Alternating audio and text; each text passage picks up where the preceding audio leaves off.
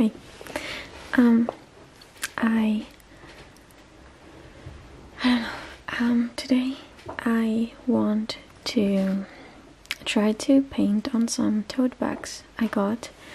I originally just wanted to have one for myself that was black because usually they're white or cream colored. So I wanted a black one. And I decided to buy more and try to sell them because I thought uh, it would be a fun idea to paint on them and make something nice of them. Um, right now, I am thinking of doing some hands, like draw some hands on them. I have uh, and white and black ones, cause guess why? uh, but yeah, I got two white ones and one black one. The black one I only got to mix it up with white in case I wanted gray, because already the tote bags are black, so I guess um, yeah, that, that wouldn't show up. I'm also thinking of doing some sort of embroidery on them. I've never embroidered anything ever, so that will be interesting. Um, I'm especially uh, thinking of embroidering some flies, but we'll see how that goes. Um, yeah, that's basically it. I had to wash the tote bags first and hang them. Uh, I did that last week, and this weekend, like it's Sunday today, I will try to paint on them. I don't know if it's gonna take the whole day, I don't know if it's gonna take more than that, but we'll see. I just hope uh, it's going to be interesting enough for you to watch. Um, I can also show you what I'm wearing because some of you are interested in that. Um, okay, so I'm wearing this dress.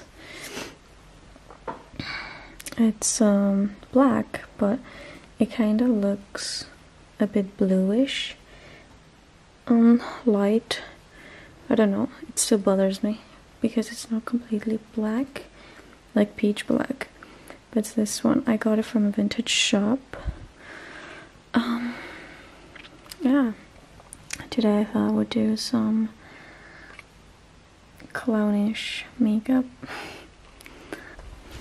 I want to show you two things actually. So I recently got this pen. Let me show it to you. It's this one. It's cool because it's 0.2 and uh, if you don't know it about me, I really like drawing small drawings and the fact that this is uh, so tiny, like the lid is so tiny, it's the coolest thing ever. Uh, I was I was eyeing this pen for like a year and never got it because I wanted it to I wanted to buy it only because um, I wanted to buy it only if I was 100% sure that I was going to draw and since I always uh, was procrastinating and drawing I didn't want to buy for myself but now that I've been drawing so much more like not eight times per year um, I thought it would be a good uh, idea to just gift it to myself. I got it from money that I got from my shop from selling things. Uh, so that was also extremely cool. Just, you know, getting money from something you made and getting art supplies. And the other thing I want to show you is something uh, that's probably one of the prettiest things I own. Um, I can show you like this. It's this beautiful mouse someone made. I will put her Instagram here. Um, she's extremely lovely. I actually met her because she was following me and I don't know, I just fell in love with what she's making, and this just screamed my name. I just really wanted it, and she also put my name here.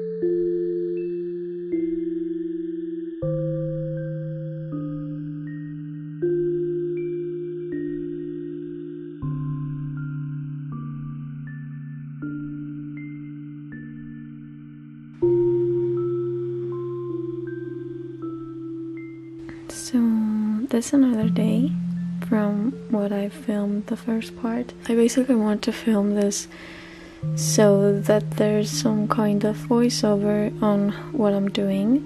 Um, I thought it would be more nicer to watch that way. Uh, so yeah, um, if you're interested on doing something similar, uh, or just interested in what I did, um, I'll tell you now uh, everything. First, I sketched everything with a kind of um, white charcoal pencil I had from Faber Castell, and yeah, the the hand was. Um, I took it from something I uh, did uh, a while ago so it was basically just redoing that without uh, too much detail.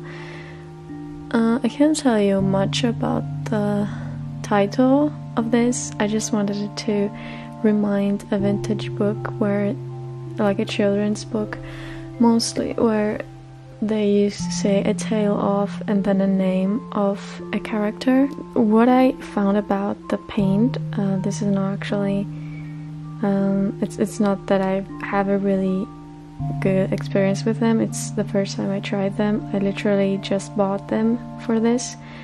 Um, but I found that it's better if you lay. They are water based, by the way. If you lay um, a really thin layer uh, of paint uh, that is uh, mixed with a lot of water, I guess, uh, like more than half the amount of paint uh, in water, and you just lay down as a sketch. You cannot erase it, by the way. So uh, you just lay down uh, this first layer just so the fabric um, hairs. Uh, how do you say it? I don't know. Just so it just lay da- lays down because if you try to uh, make something really detailed as I did, like the lettering, I want to be extremely sharp uh, and all, then you should do that for sure because the small hairs that peek out from the fabric textile i don't know. Um, they're gonna uh, it's going to be easier if you just lay them down first. So this is gonna make them flat on the surface you want to paint on uh, and it's gonna turn out pretty uh, like ghosty like transparent uh, but then you're gonna add a more pigmented layer and it's gonna look even nicer. And then you're gonna add the third layer that is out from the tube. Like first layer is with a lot of water then it's like one to one ratio and then it's just uh, paint from the tube. This is what I found to be the easiest one. It might take time but you can uh, show like a lot of details from that and make the lines pretty sharp. It dries extremely fast and uh, you also have to use a palette to put the paint on because if you leave the uh, actual jar of paint open it's gonna dry out so you just have to quickly open it put some paint on the on the palette and then close it again. I used uh, just a plate. Um, I don't know, there's a lot of people who just buy those porcelain palettes that literally are like plates. I think it's better to just get a plate rather than pay a lot of money to just get this porcelain palette. Uh, at least if you don't have money, this is a really good option. Then I started embroidering, and the embroidering process was frustrating, I guess. I tried to find flies embroidered uh, flies in pictures anywhere. I did find some, but I didn't like them. So what I end up doing is searching a picture of a fly and then just tracing the um, sketch I had done with the white pa pastel or like charcoal, I don't know, um, thing, and just you know tracing it around with the thread. And it ended up looking good. The first one I did, I had to remove uh, just take it off because it didn't look as good but then I kind of figured it out and from then I just started doing the same thing yeah that's what I did it ended up looking a lot cuter and nicer than I thought it would be which is extremely good uh, it took me a lot of time for both painting and embroidering but I guess if you do it a lot of times and you get used to it it's gonna take a lot less like at least two hours uh, less than I did. Um, I think the whole process of doing the bag took me about nine hours, but it will probably be about seven if I, or maybe less. I don't know. It depends on how uh, quick you are. Uh, I just tend to focus a lot on the detail and just take hours to just do a line. I don't know. Uh, but yeah, that's that's how I like doing things, I guess. Then uh, I did the hand uh, with the same process as I said before, with painting the three layers. Just first sketch, then a bit thicker paint, and then out from the tube, and then um, what I had to do is basically just iron it. You have to iron this paint uh, for sealing it. Um, you either just put some sort of fabric on top and then iron it uh, for quite some minutes, like one or three, I don't know. Uh, or you just turn it around, like inside out, and just iron it that way.